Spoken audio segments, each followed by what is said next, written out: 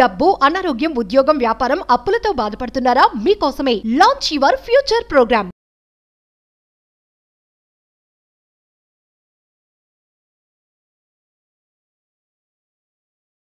నమస్తే welcome to Suman TV. నేను మీ యామ్ని.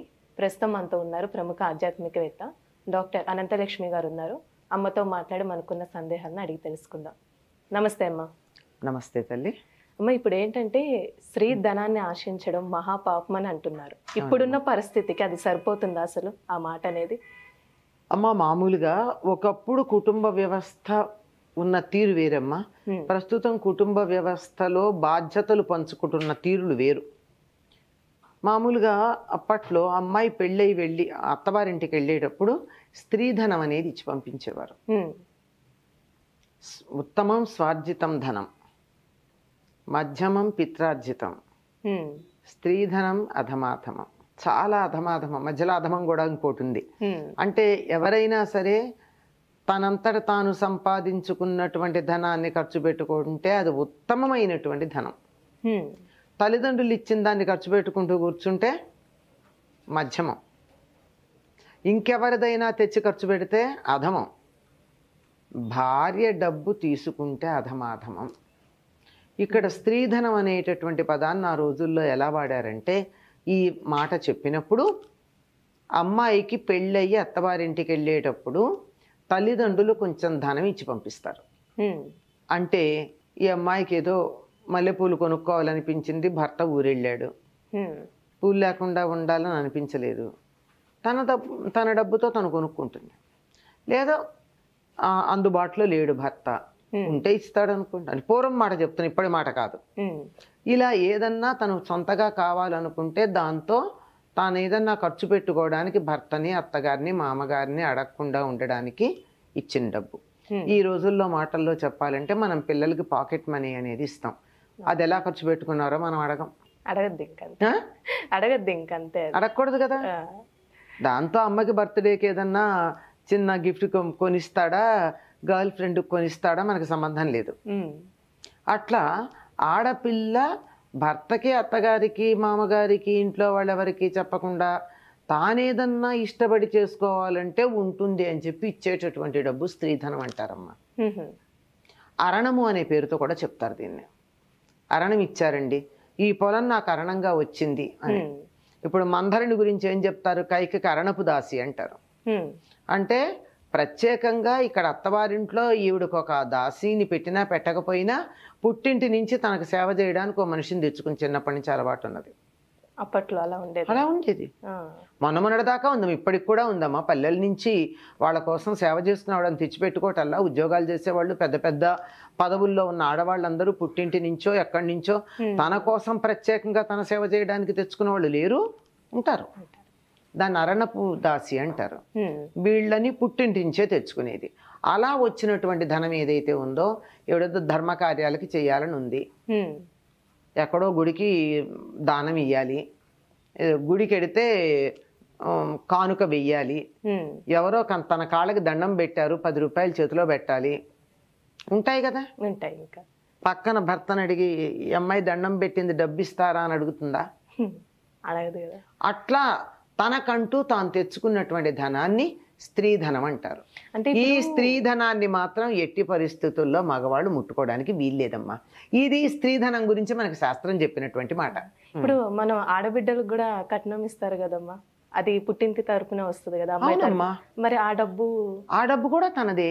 ఇప్పుడు నాకు ఒక ఆడపడుచు ఉంది నా భర్తకో సోదరు ఉంది ఆ సోదరికి ఏదో నేను పుట్టింటికి వచ్చింది పండక్కి డబ్బు ఇస్తాను Hmm. అది ఎవరిదవుతుంది? ఆవిడదే అవుతుంది. అంతేగాని ఆ ధనాన్ని భర్త కానీ పిల్లలు కానీ వాడుకోవడానికి లేదు. ఈ స్త్రీ ధనాన్ని తను తన ఇష్టం వచ్చినటువంటి వారికి ఇవ్వచ్చు ఆవిడ. ఇప్పుడు కూడా నగలు అవి కూడా మనం ఏమంటూ ఉంటామంటే అత్తగారి నగలు ఆవిడ చనిపోయాక ఎవరికి చెందుతాయి? ఒక పెద్ద ఆవిడ చనిపోయింది. కూతుళ్ళు కోడళ్ళు ఉన్నారు. ఎవరికి చెందుతాయి? పుట్టింటి నుంచి తాను తెచ్చుకున్నటువంటి స్త్రీధనం ఏదైతే ఉందో అది కూతుళ్ళకి ఎడుతుంది. అర్థమైంది? అర్థమైంది. లేదా ఆవిడికి ప్రత్యేకంగా పెళ్ళి సమయంలో అత్తగారు ఇచ్చి ఉంటే అది కూతుళ్ళకి పెడుతుంది. అట్లా కాకుండా తను అత్తగారి నుంచి తాను పొందింది ఏదన్నా ఉంటే మాత్రం అది కోటలకు పెడుతుంది అంటే లెక్క. ఇప్పుడు అవన్నీ లెక్కలు సరిపోవట్లా. ఎందుకంటే ఆస్తుల్లో కూడా సమానంగా అడిగిన తర్వాత నగల్లో సమానంగా ఆస్తేమో నాలుగు ఎకరాలు ఉంటే ఇద్దరు కొడుకులు ఇద్దరు కూతుళ్ళు ఉంటే చెరో ఎకరం పంచుకున్నారనుకోండి. నగలు కూడా అదే విధంగా పంచుకోవాలి కానీ ఆడపిల్లలకి నగలు ఎక్కువ ఇవ్వాలనుకోవడం తప్పు కదా. కరెక్ట్. అంచేత ఈ లెక్కలన్నీ సందర్భాన్ని బట్టి మారుతూ ఉంటాయి. అంచేత ఈ ధనం ఎవరికైతే ఇచ్చారో. అది ఏ స్త్రీకి ఎవరైనా ప్రత్యేకంగా ఇచ్చింది పుట్టింటి వారు ముఖ్యంగా ఇచ్చింది ఏదైతే ఉందో అది వాడుకోకూడదు.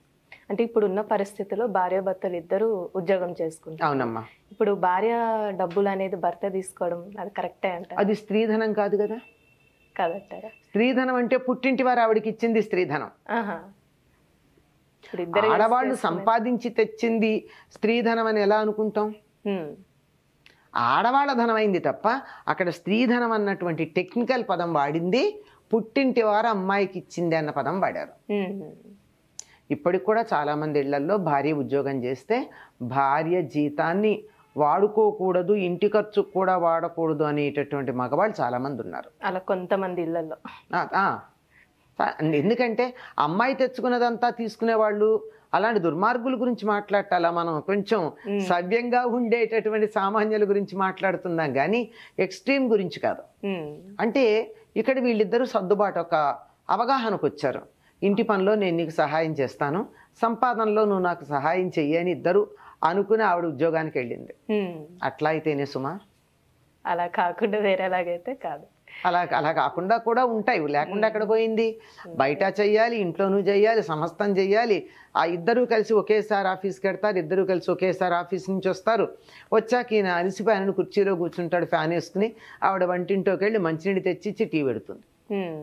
ఇలాంటి పరిస్థితుల్లో ఆ ధనం స్వీకరించినటువంటి వాడు ఏదో రకమైన నరకానికి పెడతాడు. ఎట్లానో నాకు తెలియదు కానీ అది పాపమే. అది మాత్రం పాపమే. పాపమే. ఎందుకంటే ఇద్దరు కలిసి ఒకే రకంగా ఉద్యోగం చేసినప్పుడు ఇంటి పని ఇద్దరు సర్దుకోవాలా అక్కర్లేదా? సర్దుకోవాలి కదా. ఇద్దరు చేసుకుంటేనే కదా బయటికి వెళ్ళేది. వెళ్ళేది. అట్లా కాదు నేను మగవాణ్ణి గనక నేను ఇట్లా కుర్చీలో కూర్చుంటాను నువ్వు మంచినీళ్ళు తెచ్చివ్వు అంటే తప్పు. ఇంట్లో ఉండే ఆడవాళ్ళు చేశారా? అది- ఓకే అది సర్దుబాటు. అంచేత ఇలా చేసిన సమా ఇద్దరు కలిసి సమ సమానంగా సంపాదించిన ధనం ఏదైతే ఉందో అది మాత్రం ఇలా అవగాహనతో చేసుకున్నది అది స్త్రీధనం అవుతుందో లేదో శాస్త్రాలు ఏం చెప్పలేదు కానీ లౌకికంగా ఆలోచించి చూస్తే అది స్త్రీధనంగా పరిగణించబడదేమో అనుకుంటున్నా. అలా అంటారు. అంతే. చాలా చక్కగా తెలియజేశారమ్మా. ధన్యవాదాలు. నమస్తే అమ్మా. సుమన్ టీవీలో మీ పర్సనల్ అండ్ బిజినెస్ ప్రమోషన్స్ కోసం కింది నెంబర్కి కాంటాక్ట్ చేయండి.